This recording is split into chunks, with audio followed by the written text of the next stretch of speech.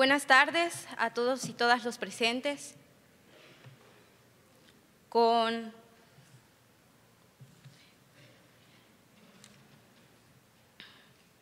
el permiso de la mesa directiva, agradezco la oportunidad de estar frente a ustedes y de ser escuchada.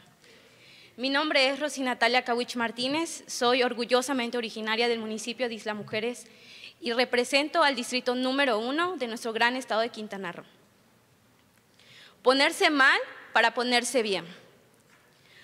Hoy quiero hablarles de un sector de la población que sin duda hasta el día de hoy es prejuzgado. Les quiero hablar de las personas que viven con adicciones. La presente propuesta se centra en un problema de salud pública real y palpable en todos los municipios de nuestro estado. Sin embargo, antes hay que entender qué es una adicción y conforme lo estipula el inciso B del artículo segundo de la Ley para la Prevención y el Tratamiento de las Adicciones de nuestro Estado, precisa que es la dependencia a cualquier sustancia que daña la salud de la persona y su entorno. Entre ellas podemos hablar del alcohol, de las drogas, del tabaco y también de un comportamiento convulsivo que repercute en una conducta determinada que causa negativamente a las personas, dañando emocionalmente, psicológicamente, física, familiar o socialmente su persona. Las adicciones van en creciente cada día más y esto es un problema, es un problema que las normalicemos. De acuerdo a la última encuesta nacional de adicciones, Quintana Roo ocupa el primer lugar en consumo de drogas a nivel nacional, siendo Cancún y Playa del Carmen los principales puntos rojos. Y lo peor es que cada año bajan la edad de los consumidores. Es decir, hasta actualmente tenemos a niños de primaria que consumen. Necesitamos reforzar la prevención de las adicciones, ya que detrás de cada persona con una adicción no hay calidad de vida. Hoy te quiero hablar de padres, de madres, de amigos, de vecinos, de conocidos tuyos, que buscan la felicidad de una manera equivocada y que no tienen calidad de vida y que evaden su realidad. Mi propuesta está centrada en ayudar a las personas a prevenir y superar las adicciones sin prejuicios, pues el artículo primero de nuestra Constitución mexicana establece que no hay que discriminar por origen étnico, nacional, de género, edad, por las discapacidades, por la condición social, las condiciones de salud que es con las que viven las personas con adicciones. Hay que respetar los derechos y las libertades de las personas que viven con adicciones sin discriminarles y excluirlos por su condición de salud.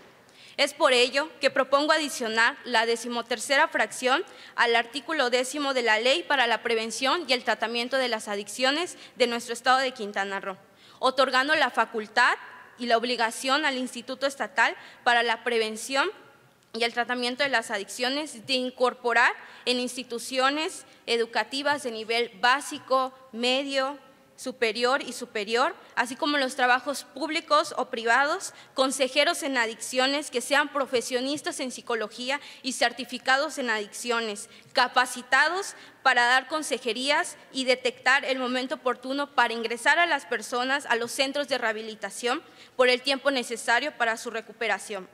Este consejero, a través de una prueba en adicciones y estudios, evaluará el grado de adicción, brindando al trabajador o a los estudiantes herramientas psicológicas y de consejería para tratar de manera especializada su adicción. Con esto vamos a brindar una oportunidad para no ser despedidos, expulsados del trabajo o de las escuelas. Y en los casos más graves tendrán que rehabilitarse en centros de ayuda y reincorporarse a sus actividades. De esta manera, se brinda el acceso a los servicios de salud para el bienestar de las personas, reforzando la estrategia contra las adicciones y garantizándonos el derecho a la salud del artículo cuarto de la Constitución Política de los Estados Unidos Mexicanos. Hay que priorizar la salud mental y la detección temprana de las adicciones, conforme lo estipula el artículo 72 de nuestra Ley General de Salud. Es preciso mencionar que también es de competencia del Estado, del gobierno del Estado, crear programas para el diagnóstico de detección temprana de las personas con adicciones. Esto conforme al artículo quinto del artículo 13 bis de la Ley de Salud del Estado de Quintana Roo. De igual forma, se integra la consejería como grupos de trabajo mencionando, mencionado en la fracción decimosexta del artículo tercero del reglamento del Consejo Nacional contra las Adicciones, recalcando que la consejería nos va a servir como una herramienta clave para la prevención y la detección temprana de las personas con adicciones. Para lograr el objetivo principal de prevenir y erradicar las adicciones, debemos de trabajar en unidad, con el único propósito de detectar y brindar la ayuda necesaria a las personas con adicciones. En esta vida, nadie nos brinda segundas oportunidades. Sin embargo, con esta propuesta podemos brindarles segundas oportunidades a las personas con adicciones. Pensemos en cuántas personas pierden trabajo, pierden familia, pierden amigos, pierden muchas cosas por estar metidos en adicciones. Ellos quizá no lo pidieron, sin embargo, las adicciones les ganaron. Hoy por eso estoy aquí y presento esta propuesta por todas aquellas personas que necesitan ayuda y que a veces no lo piden. Pensemos en aquellos padres que generan violencia y no le dan calidad de vida a sus hijos ni a sus esposas.